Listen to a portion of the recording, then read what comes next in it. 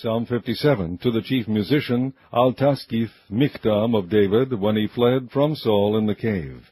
Be merciful unto me, O God, be merciful unto me, for my soul trusteth in thee. Yea, in the shadow of thy wings will I make my refuge unto these calamities be overpast. I will cry unto God most high, unto God that performeth all things for me. He shall send from heaven and save me from the reproach of him that would swallow me up. Selah. God shall send forth his mercy and his truth.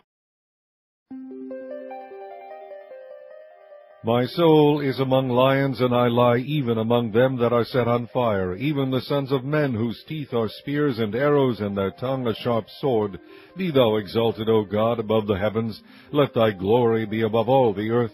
They have prepared a net for my steps. My soul is bowed down. They have digged a pit before me, into the midst whereof they are fallen themselves. Selah.